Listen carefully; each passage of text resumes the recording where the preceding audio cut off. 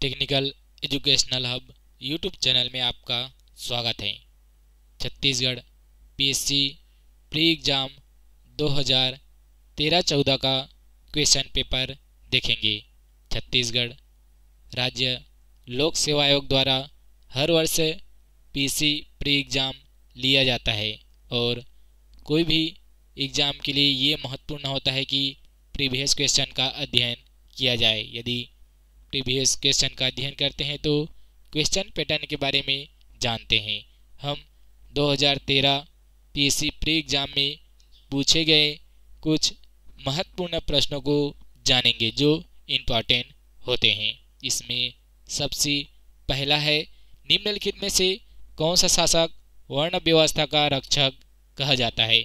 इस क्वेश्चन का सही आंसर है गौतमी पुत्र सतकर्णी।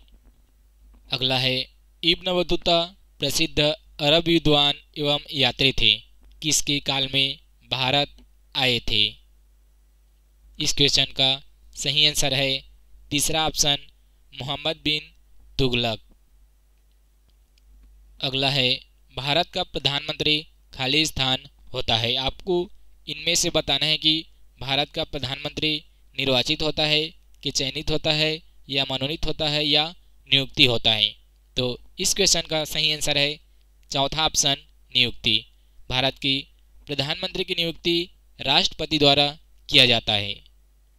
अगला क्वेश्चन है, सामान्य आग के लिए स्पष्ट दृष्टि की न्यूनतम दूरी कितनी होती है?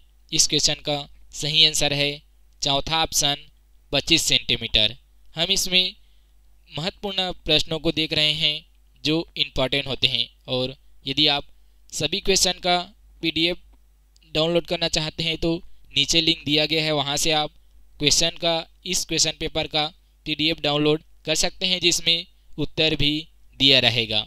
सभी क्वेश्चन का उत्तर यहीं पर दिया रहेगा, आप हल कर सकते हैं और सभी क्वेश्चन के आंसर जान सकते हैं। इसके बाद अगला क्वेश्चन है, परमाणु ऊर्जा हेतु भारी जल संयंत्र अधोलिखित में से किस स्थान पर नहीं है?